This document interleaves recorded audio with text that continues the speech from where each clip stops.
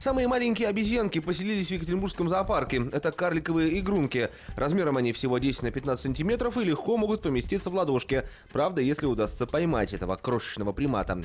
Эльф и киви в Екатеринбурге живут уже 4 года, но раньше их не показывали посетителям.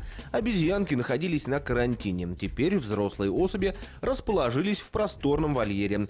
Клетка на 4 квадратных метра для них, конечно, великовата, зато есть простор. Карликовые игрунки очень активны и любят качаться, так что лишняя площадь им не помешает. На завтрак приматы предпочитают фрукты и овощи. Также в рационе обязательно должны быть сверчки и кузнечки. Для маленьких обезьян специально изготовили березовые качели. В природе они любят полакомиться корой и соком. Поэтому сотрудникам зоопарка приходится выдумывать способы, чтобы малыши чувствовали себя комфортно. Они прогрызают кору и питаются соками деревьев определенных.